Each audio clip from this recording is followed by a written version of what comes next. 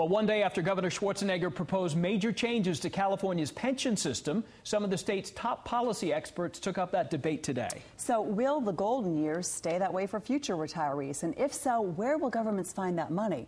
KCRA 3's David Bieniek tonight with some tough questions ahead.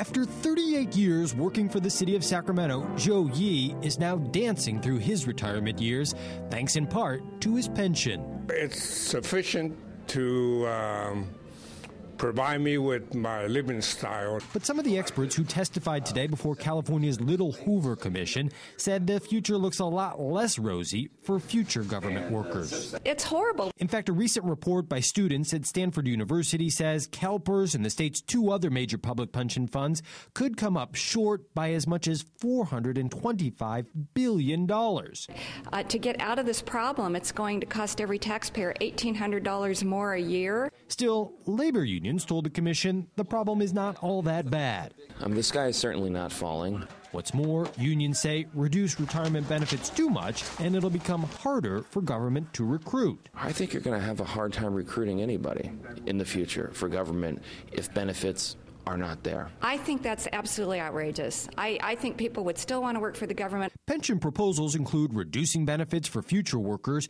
increasing retirement age or taxes, or reducing government services. Some experts predict that if governments do nothing, their pension costs will get so out of hand that they'll be forced to stop hiring new workers.